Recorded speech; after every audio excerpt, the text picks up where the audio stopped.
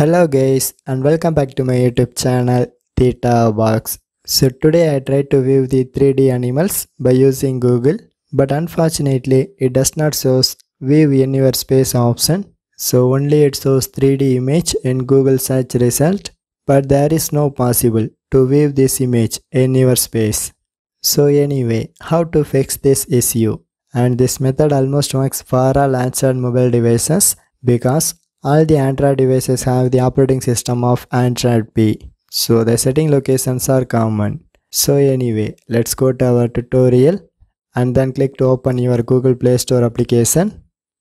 Now in the search bar section you can search Google Play Services for AR. So you can click to install this first application because this will help you to view the animals in your space so once the installation process is completed, now you can close your Google Play Store. And one more time I try to check it by simply search any animal name.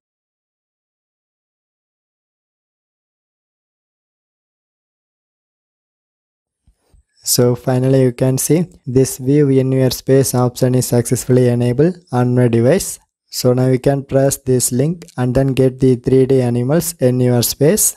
So this is the way you can easily fix Google 3D animals not working problem by watching my tutorial. For more tech videos you can subscribe my beautiful tech channel Theta Box and thanks for watching.